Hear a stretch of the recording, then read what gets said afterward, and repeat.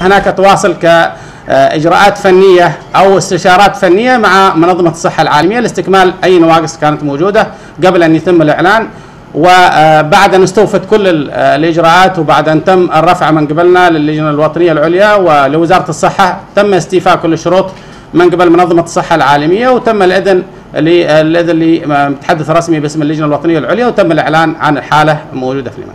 هناك مجموعة من الإجراءات الاحترازية التي تمت من قبل السلطة المحلية وعلى رأسها السيد المحافظ وراكم فريس المي البحسني. هناك إجراءات احترازية مبكرة تمت وسريعة جدا من أجل احتواء الوضع الوبائي الحاصل ومن ضمنها هذه الإجراءات الاحترازية سواء كان منع التجوال في المديريات الشرقية وأيضا إجراءات احترازية أخرى إن كان إغلاق الميناء أو حملات رش واستجابة وتدخل وتقصي وتسجيل المخالطين وتقسيمهم إلى ثلاث فئات مخالطين الحلقة الضيقة حوالي المصاب والمتوسطة والحالات أو المخالطين البعيدين مش المحتكين بشكل كبير إن كان في زملاء العمل وإن كان في الأهل وإن كان في الكوادر الصحية الذين قدموا خدمة. الإجراءات تمت بسلامة وتم إعلان الحالة ونحن بعدها تم قمنا بإجراءات احترازية. كنا يوم أمس في حملة كبيرة جدا لمدينة الشحر من خلال تعقيم وتطهير المنطقة كاملة بشكل عام وأيضا من خلال حملة طبية وعلاجية وطاقم طبي كامل وبعض التجهيزات ومستلزمات السلامة للكوادر الصحية العاملة في مستشفى الشحر وحتى تدريب ميداني أثناء الخدمة. وسندونا في هذا أخواننا في مؤسسة القلب في مركز القلب بطواقم طبية خاصة في الإنعاش وفي التنفس الصناعي. قمنا بمهمة كبيرة جدا مع أخواننا أيضا في الأمن. كانوا معنا وداعمين ومتابعة كبيرة من السلطة المحلية وأخواننا في صندوق النظافة. نفذنا حملة متكاملة في المدينة وأيضا حتى نفذنا حملة أخرى عبارة عن رش دخاني لحمى الضنك. وكانت الشحر ضمن الخطة حقنا التي نفذناها بدعم من الأخ المحافظ. لكن قدمنا الشحر نتيجة للأوضاع الوبائية اللي حصل فيها بحيث نكافح حمى الضنك ونساعد المواطنين. وصلنا رسالة للمجتمع أننا موجودين معهم ونقدم خدمة في هذه الظروف الصعبة طبعا نحن الآن نعمل على عدة خطوات في صحة ساحل حضرموت خطواتنا السابقة مستمرة في الجانب التثقيفي والتوعي على مستوى المحافظة بشكل عام وأيضا في الترصد الوبائي خطواتنا مستمرة السابقة في جانب مراكز المعالية واستكمال ما تحتاجه من أجل فتحها واستقبال أي حالات. خطواتنا مستمرة في الجوانب الإجرائية والإدارية في التعامل مع الخطوات الاحترازية مع الجهات الأخرى سواء كان في حظر التجوال وغيرها وأيضا بنشتغل على الجانب الآخر الحالة المرضية تم اكتشافها وموجودة. الباقي نعمل على المخالطين وكيف نحن نوصل لهم. وهناك إجراءات علمية نحاول قدر الإمكان أن نحن نستعين بأخواننا في وزارة الصحة وفي الترصد الوبائي أو في منظمة الصحة العالمية. وهناك وفد قادم من منظمة الصحة العالمية خلال اليومين القادمة للمساعدة في جانب التقصي والتحري والوصول إلى المخالطين في أسرع وقت ممكن. وممكن إحنا طلبنا كميات كبيرة من المحاليل من أجل فحص في أسرع وقت للمخالطين وتسجيل إذا كانت هناك حالات أو حالات موجبة موجودة نتعامل معها بسرعة. الإجراءات اللي بتتم الآن ومن يوم أمس استكمال حصر المخالطين وتقسيمهم إلى عدة فئات والتعامل معهم مباشرة، فريق اليوم نزل من قبلنا من مكتب صحه المحافظة من فريق الاستجابه السريعة من مدينة المكلا نزلوا يسندوا أخوانهم في الشحر، أيضا فريق آخر من منسقين وفنيين من منظمة الصحة العالمية نزلوا إلى مدينة الشحر. وكادر طبي من قبلنا من مكتب الصحه نزلوا لمدينه الشحر للتعامل مع في أسرع وقت مع المخالطين وتسجيل أي حالات اشتباه إضافية للتعامل معها مبكرا من أجل ألا يستفحل الوباء وألا تزيد الحالات المرضية. هذا أغلب الأشياء التي نعمل عليها واترك لكم المجال إذا كان في أي أسئلة بحيث أن نتعامل مع طيب هل وزراء الصحه يعني عن اسم المشكلة؟ طبعا نحن لا نذكر أسماء لأن في في الأمراض بشكل عام أي مرض من الأمراض نحن لا, لا نعلن أسماء مرضى وفي جوانب مهنية وإنسانية وأخلاقية. فموضوع ذكر الأسماء خارج عن نطاق إجراءات الصحة وخارج عن البروتوكولات وخارج عن الجانب المهني في الصحه لكن عندما البحث عن مخالطين من خلال الشخص نفس المصاب نحن نجلس معه ونأخذ منه بعض المعلومات ونوصل للمخالطين. حتى تعريف المخالط لنا إجراءات في التعامل مع المخالطين وأيضا منهم المخالطين الذين نوصل لهم في أسرع وقت ممكن ونتعامل معهم ونحن قد بدأنا إجراءاتنا في هذا الجانب. مصدر الحاله الوباء هل فعلا من ميناء الشحر أو إنه يعني دخل من أي من من أي منطقه أخرى؟ كيف تعاملتم مع هذا الوباء؟ وأيضا دكتور في ملاحظة اسم ال- الحالة منشور على مواقع التواصل الاجتماعي وفي كل مكان انه مدير مستشفى الشرق كيف ترجع مدير من الشرق آه، طبعا آه، نحن عملنا لشقين آه، من أول البارح في آه، عندما تم الإبلاغ عن الحالة وأيضا عندما تم تأكيدها آه، نزلنا نعمل على جانبين، الجانب الأول معرفه مصدر الإصابة. آه، الشخص المصاب من تل- من فين تلقى هذه الإصابة ومن أين وصلت له هذه الإصابة. وأيضا اشتغلنا على جانب آخر اشتغلنا على جانب المخالطين. فموضوع الإصابة آه، الإصابة نحن في الإجراءات الاحترازية السابقة تعرفون مينا الشحر مينا بضائع ومينا سمكي وليس مينا ركاب. ولم تجرى عليه إجراءات الحكومة في إغلاق كل المواني والمنافذ. فهذا المينا مينا بضائع و و ولم تجرى عليه إجراءات الإغلاق فهو يقدم خدمات ويقدم أيضا أسماك وغيرها. لكن ال ال قادة هذا أرباب هذه السفن والبواخر التي تصل تصل إلى هذا الميناء هناك إجراءات مع أخواننا في خفر السواحل وأيضا أخواننا في المشروع الرابع عدم نزولهم إلى أرصفة الميناء يبقوا في سواعيهم وفي بواخرهم وتقدم لهم خدمة وهم موجودين فيها فالتقاط هذه الإصابة بحكم ال- الشخص المصاب له تواصل بحكم مسؤوليته ووصوله فقد يكون هناك احتكاك مباشر أو غير مباشر من خلال الوسطى ومن خلال إجراءات وتوقيعات والتزامات وغيرها ممكن توصل آه نوصل إلى هذا المرض. آه موضوع الأسامي أو وسائل التواصل الاجتماعي ليس جهات رسمية. نحن آه، لا نذكر أسماء كأسماء كجهات رسمية مسؤولة لكن وسائل التواصل الاجتماعي توجد عليها كثير من من الأشياء وكثير من ال من ال التصريحات وغيرها ومسؤول عنها من ينزلها الجنسية جنسية الشخص المصاب يعني يمني يمني 100% يمني كم له فترة من يوم ظهرت له الحال المرض هذا كم فترة؟ آه، ثاني شيء الأشخاص يعني تتوقع كم من الأشخاص اللي مخالطين منه؟ هل بيوصل أعداد كثيرة؟ آه، طبعا ال- ال- الحالة آه، وصلت يوم الأربعاء مساء إلى أحد مشافي الخاصة في في في الشحر. وتم متابعة الحالة من خلال عدة إجراءات ومن خلال الط- الطاقم الطبي الموجود اللي هناك.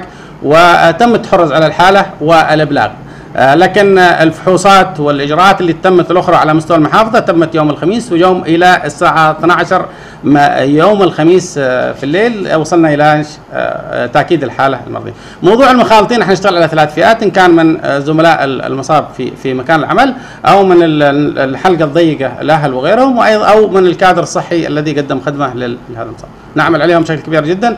آه، نحن وسعنا الحلقة بحيث أن آه، نوصل للكل.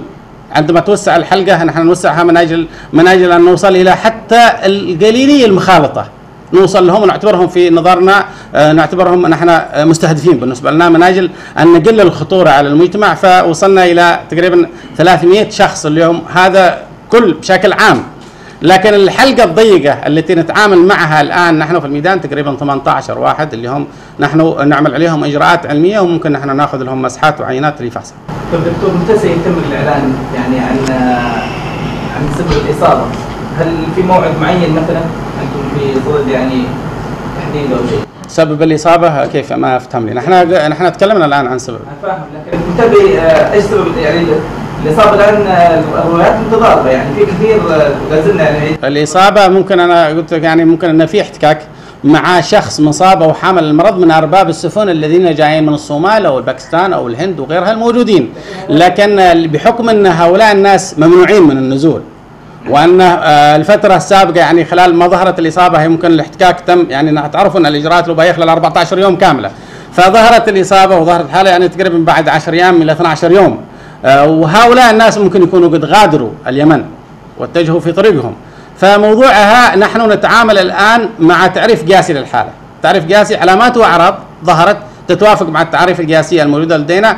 في احتكاك في مكان خطورة عبارة عن منفذ دولي توصل إلى إلينا عبر آه، بعض يوصل إلينا عبر بعض الوافدين. فهنا توجد الخطورة فتعاملنا مع الحالة مع التعريف القياسية مع مكان العمل بالنسبة لنا موقع موقع خطورة مع التأكيد من وحدة ال PCR وهذا أعلى آه، فحص لا آه، لا يوجد فحص أكبر منه. هذا أعلى فحص دكتور هل بيسمح للصحفيين الخروج والتصوير في مدينة الشحر آه، خاصة المركز الصحي هذا هم من بعيد حتى على الأقل التصوير؟ آه، ما نحن ما عندنا مشكلة في موضوع التصوير بس اللي الصحفيين ينتبهوا على أنفسهم ويحضروا لأن الموضوع ليس سهل ونحن خايفين على كثير من الصحفيين وخايفين على صحة الناس حتى الكادر الطبي وبنعطيهم وسائل سلامة لكن الصحفيين ينتبهوا كل واحد يحذر على نفسه ممكن يكون عرضة للإصابة حتى نحن ممكن يكون عرضة للإصابة وموضوع آه، تصوير الأشخاص أو المرضى هذا لا يسمح به قانونا فممكن آه، ما عندنا إشكال في الموضوع يا دكتور ترتبون للصحفيين ولا كل واحد ينزل على كيفه؟ إحنا لا نرتب في هذا الجوانب ونمنع. إحنا يعني نحاول قدر الامكان أو نحذر. إن هذا فيها أماكن خطورة فلا نتمنى أن إحنا نعرض آه، نعرض أحد حتى آه، يعني المقربين. نتمنى أنهم آه، الحالة تواجد الحالة. الحين لا زال في مركز العزل في مدينة الشحر لماذا يعني خليت الحالة في الشحر وليس في مراكز العزل في مدينة المكلا آه، الشيء الثاني عفوا يا دكتور ل- بالنسبة للأسر يعني الآن لماذا يوصل مكتب الصحة والسكان الأسر آه، التي ظلت الآن الناس كل الناس خايفة من مدينة الشحر لماذا يوصل مكتب الصحة والسكان لل- للناس والالتزام آه، طبعا وجود الحالة الآن في الشحر في مركز المعالجة في الشحر نحن نحاول قدر الإمكان أن آه، لا تنتقل الحالة لاكثر من مكان من أجل أن لا نوزع العدوى على عدة أماكن وعدة مرافق صحية. فنفضل أنها تبقى في مكان واحد تقدم لها الخدمة حتى توصل إلى مرحلة معينة من التشافي وأيضا حتى حرصا على سلامة المريض في عملية النقل حقه وأيضا في موضوع ال- الإصابات أو موضوع نقل العدوى. فنتعامل معها في مكان وممكن توصل إلى مرحلة معينة يتم نقلها إلى مكان آخر لتقديم خدمات إضافية إذا احتاجت الحالة لهذا ال- ال- التدخلات. موضوع أهلنا في الشهر نحن نوصل أكثر من رسالة، كل الإجراءات الاحترازية اللي تمت آه، هي في صالح الجميع ومن أجل الجميع من أجل المحافظة ومن أجل الشحر ومن أجل الناس الموجودين في الشهر فلم يصل الموضوع إلى درجة ان التخويف والتهويل في أشياء معينة في وصول وإنما كل الإجراءات عبارة عن إجراءات احترازية إن كان في جانب آه، حظر تجوال أو في غيرها لتوصيل رسالة توعوية سليمة للمواطن نفسه وللفرد نفسه وللأسرة أن ي- كيف يحموا أنفسهم وكيف توصل لهم رسالة في موضوع أن في خطر موجود، في حالة موجودة عندنا الآن. يجب أن نتعامل معها كلنا بعيدا عن الاستهتار أو بعيدا عن آه ترك الفرصة للوباء. هذا أن ينتقل، نحن آه، تخوفاتنا كبيرة جدا أن ينتقل المرض إلى أكثر من واحد، وإمكانياتنا محدودة. إذا كان المرض هذا هد أعلى المنظومات الصحية على مستوى العالم، ما هي إمكانياتنا نحن للتعامل معها في في مستوى إمكانيات العالم الذين يتعاملون معها، فنحن قدر الإمكان نعمل على إجراءات احترازية كبيرة جدا. هذه الإجراءات الاحترازية هي اللي آه، قد تمنع آه، وصول المرض للآخرين، فالإجراء اللي بيتم في الشهر نحن نطمن الأهل في الشهر إنه إجراءات احترازية يساعدونا فيها لمنع انتقال المرض أو انتشاره إلى جهات أخرى. عدا عن الحالة اللي تم تسجيلها هل هناك أي حالة اشتباه تم التضامن حتى التضامن؟ طبعا آه، في قبلها مع هذا الحالة في نفس اليوم يوم الخميس الماضي كانت هناك حالة اشتباه أخرى. سجلت في مستشفى ابن سينا من قبل أحد الأخصائيين وهي الحالة لم لم تتوافق مع التعريف القياسي. لكنها آه، أخذناها نحن بعين الاعتبار وعملنا لها فحص وطلعت سلبية.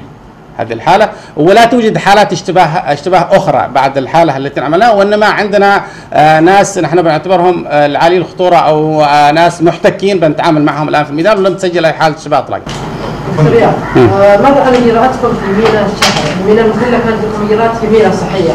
هل هناك يفرض عليكم ضرورة العدل من قيامكم بعملكم لفحص الحالات القادمه من هنا وهنالك؟ عن الاجراءات الصحيه التي تقومون بها في الميناء؟ في مينا الشحر نحن اعلنا أكثر من مرة. نحن نتعامل مع ثلاثة مواني، نتعامل مع مينا الشحر ومينا المكلا ومطار الريان الدولي، وتوجد فيها فرق طبية في مينا الشحر أيضا لفحص أي آه، وافدين عبر هذا الميناء، لكن بعد بعد أن تمت الإجراءات واغلاق المواني والمنافذ آه، تم اتخاذ الإجراء على الوافدين أن يمنع اولا خروج أي وافد من المواني حقهم ما عدا البضائع. فالطاقم الطبي حقنا في صحة الموانئ موجودين في الميناء. فالكادر أو الأشخاص الذين أرباب هذه السفن الأجانب ما ينزلون في إجراءات منع لنزولهم. فلا يتم فحصهم آه، اطلاقا. يعني هم غير يعني لا ينزلوا إلى دكة الميناء نفسه فنحن لا نتعامل معهم اطلاقا ولا نتعامل مع السلطات الصحيه بحجة منعهم. وهناك سلطات مسؤولة عن هذا الكلام.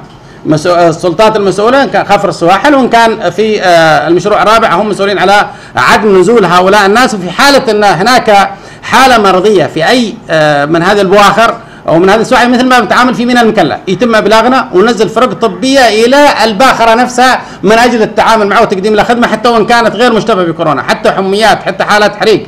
وصل معنا آه، قبل أيام في ميناء المكلا لأحد السواعي كان في حريق موجود وطلبوا منا أخواننا في الميناء للتدخل ونزلنا فريق طبي وطلع إلى هذه الباخرة وتقديم خدمة داخل آه، للكادر الموجود في هذا الميناء فموضوع نزول ناس وإجراءات صحية للناس لميناء الشحر هذا اطلاقا غير موجودة يعني في الكادر موجود لكن ممنوع نزول أي حد إلى أصل.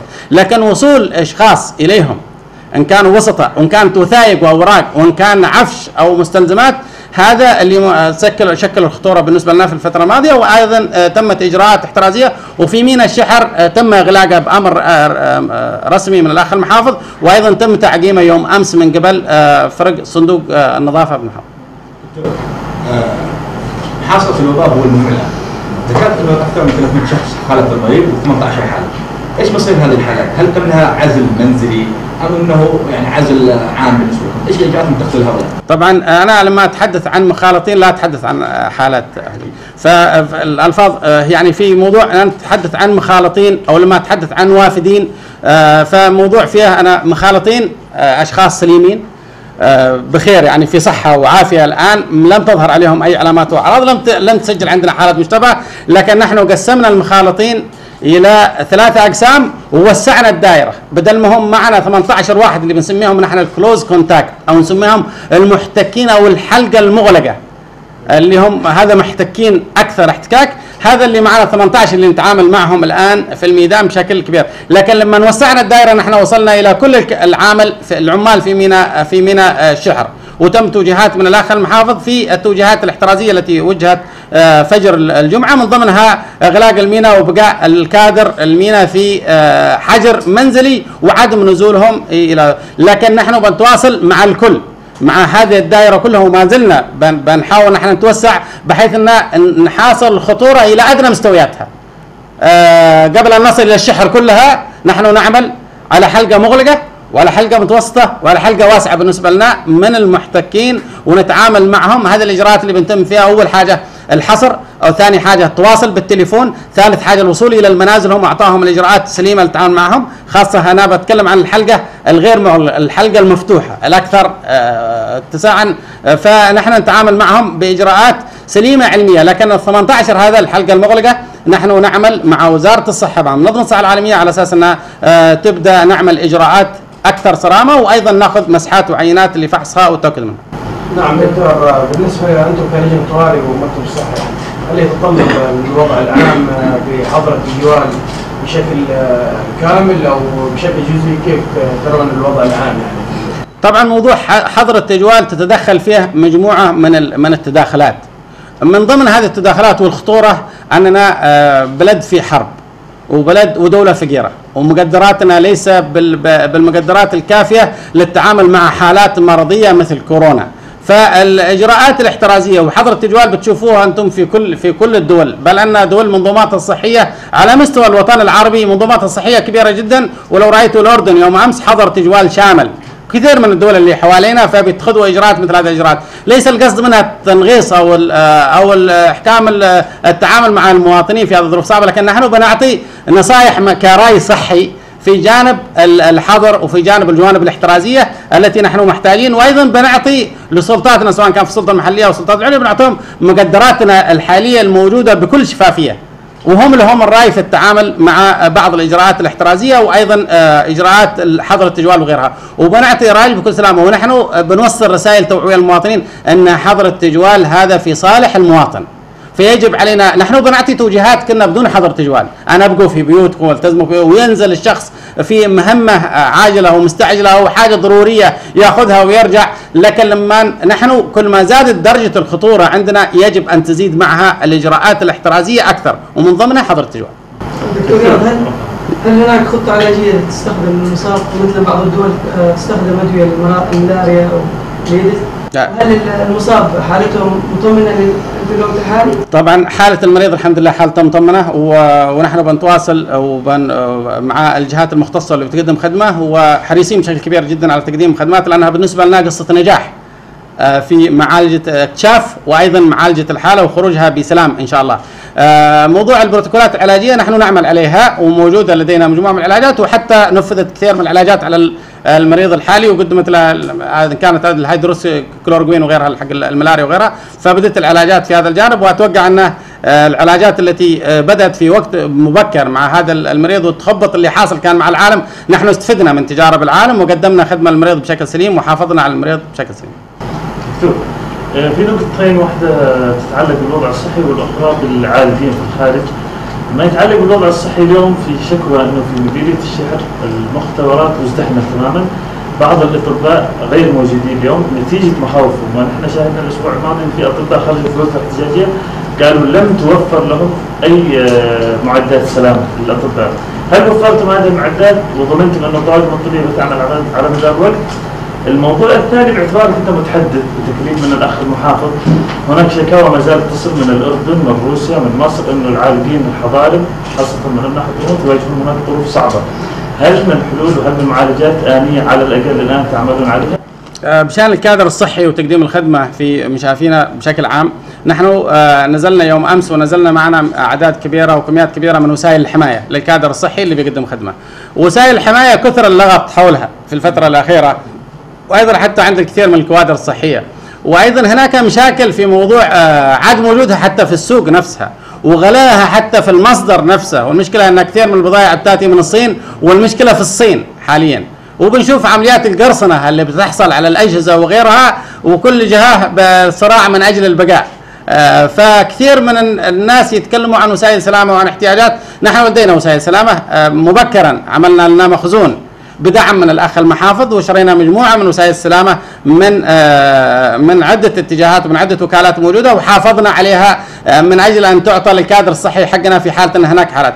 عندنا مركز في مستشفى بن سينا مركز معالجة هذا المركز مسجل في منظمة الصحة العالمية ومسجل في وزارة الصحة اليمنية وبيقدم له دعم ووصلته وسائل حماية يكون إن هذا المركز الوحيد الذي على مستوى اليمن لأن وزارة الصحة اليمنية حددت في كل مستشفى على مستوى اليمن كل مستشفى رئيسي في المحافظة في محافظات حددوا فيها مركز معالجه فكل المقدرات وكل الدعم اللي جاء السابق ووسائل الحماية التي آه، تم صرفها من منظمه الصحة العالمية ووزارة الصحة كلها في مركز الحماية الموجود في مستشفى بن سينا نحن اشترنا كثير من وسائل الحماية الموجودة في السوق بدعم من الاخ المحافظ موجودة لدينا. يوم أمس سلمنا آه، إدارة مستشفى الشحر وسائل حمايه وأيضا كثير من الداعمين وأهل الخير بيشتروا بعض وسائل الحماية ورأوا أن هذا الموضوع بالنسبة لهم آه، مع زيادة الأصوات وزيادة الكادر الصحي وكلام عن هذا الجانب فكثير من أهل الخير توجهوا إلى هذا الجانب واشتروا آه، بعض الحاجات. طبعا حماية الكادر الصحي خط أول حتى في آه، المنظمات الدولية وفي خطط المنظمات الدولية، تتكلم المنظمات الدولية على موضوع حماية الكادر الصحي المقدم الخدمة، حماية المسنين وعالي الخطورة من مرضى الأمراض المزمنة، وأيضا دعم الدول الفقيرة ودعم الدول التي فيها أنظمة صحية ضعيفة جدا، فالخط الأول حماية الكادر الصحي، ونحن نعمل على هذا الجانب من خلال آه، دورات تدريبية ولقاءات علمية مع كوادرنا الصحية من أجل رفع مستوى الفهم لديهم حتى في موضوع وسائل الحماية، ما هي وسائل الحماية وكيف تلبسها ومتى تلبس هذه وسائل الحماية، لأن قد بعض هذه وسائل الحماية تؤدي إلى نقل المرض نفسه إذا كان لم نتعامل معها بشكل سليم، ونحن المفروض أن نحن نوصل رسالة للمجتمع.